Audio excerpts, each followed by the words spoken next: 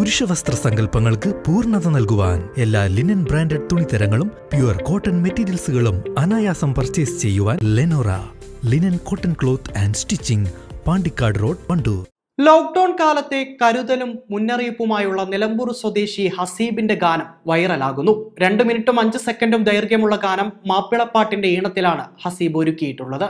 കേട്ടാൽ ഞെട്ടണ് പൊട്ടണ് കോവിഡ് മരണം മാനം മുട്ടണ നാടും റോഡും ലോക്ക്ഡൌണിൽ പെട്ട്. നട്ടം തിരിയും നാട്ടിലെ ജനത.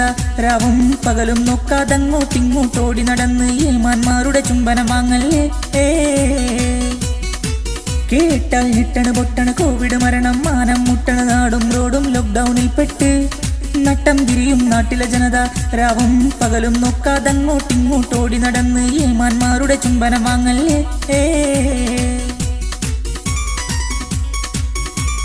കോവിഡ് പ്രതിരോധത്തിനായി മുന്നണി പോരാളികളായി പ്രവർത്തിക്കുന്ന സർക്കാരിനും ആരോഗ്യ പ്രവർത്തകർക്കും പോലീസിനും മാധ്യമ പ്രവർത്തകർക്കുമെല്ലാം അഭിനന്ദനങ്ങൾ നേരുന്നതോടൊപ്പം നമ്മുടെ കരുതലും കോവിഡ് വൈറസിന്റെ ഭീകരതയുമെല്ലാം ഈ ഗാനത്തിൽ അടങ്ങിയിട്ടുണ്ട്.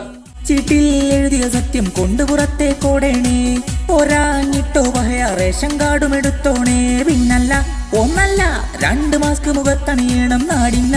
നന്മയ്ക്ക ജോലിയുള്ളോരും അലഞ്ഞ് ജീവിതം ഇരുളായി പുകഞ്ഞി ഇടതടവില്ലാതോടി പിടയണ നെഞ്ചം നീറി ദിനമുറയെല്ലാം മാറി ഇതിനൊരു മാറ്റം പൂതി കൊറോണയെ നീക്കാനായി ഇടതും വലതും നോക്കാതെ നീ സർക്കാരിൻ നിർദ്ദേശം കേൾക്കേ.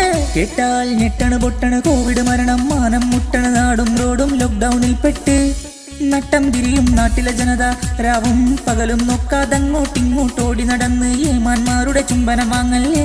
ഏ. സ്വന്തമായി രചിച്ച വരികൾക്ക് ഈണം നൽകിയതും പാടിയതുമെല്ലാം ഹസീബ് തന്നെ. നിലമ്പൂർ ഏനാന്തി പൊറ്റമ്മൽ അബ്ദുൽ നാസർ സീനത്ത് ദമ്പതികളുടെ മകനാണ് ഹസീബ്. കഴിഞ്ഞ തെരഞ്ഞെടുപ്പ് കാലത്ത് വ്യത്യസ്ത മുന്നണികൾക്കായി തെരഞ്ഞെടുപ്പ് ഗാനങ്ങൾ രചിച്ച് ഈണം നൽകി പാടിയിട്ടുണ്ട്. വീട്ടിൽ തന്നെ റെക്കോർഡിംഗ് റൂമും ഒരുക്കിയിട്ടുണ്ട്. പെരുന്നാൾ സമയത്ത് ലോക്ക്ഡൌൺ നാളുകളിലെ കരുതൽ സൂചിപ്പിച്ച് ആരും പുറത്തിറങ്ങരുതെന്ന സന്ദേശവുമായി ഹസീബ് പാടിയ പാട്ടും ഏറെ ശ്രദ്ധ നേടിയിരുന്നു.